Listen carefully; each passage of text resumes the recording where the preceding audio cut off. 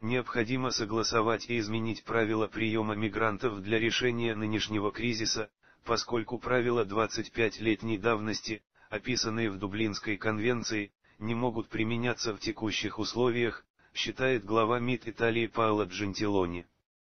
По мнению итальянского министра, явление миграции кардинально изменилось за последние годы, в частности, в своих размерах и причинах, поэтому необходимо внести изменения в правила приема нелегалов, а также не забывать и о ее корнях, войнах, бедности и существующих диктатурах. Необходима европеизация управления потоком мигрантов, то есть право на получение убежища в Европе. Мигранты прибывают в Европу, а не в Италию, Грецию, Германию или Венгрию, сказал Джентилони в опубликованном в среду интервью газете Каурир дель Сера. При этом он подчеркнул, что это является единственным способом двигаться вперед в этом вопросе, в противном случае то, что сейчас происходит, может поставить под сомнение Шенгенское соглашение и стать причиной возвращения к старым границам.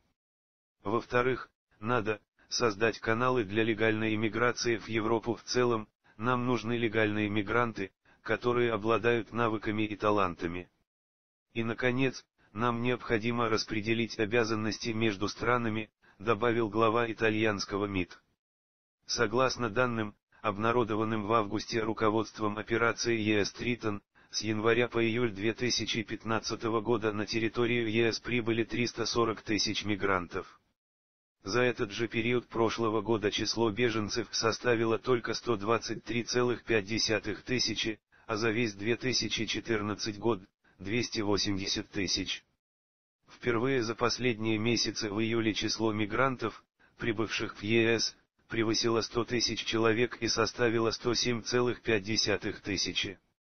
Наибольший поток беженцев из стран Северной Африки и Ближнего Востока зарегистрирован в Италии, куда прибывает почти треть всех мигрантов, и в Греции.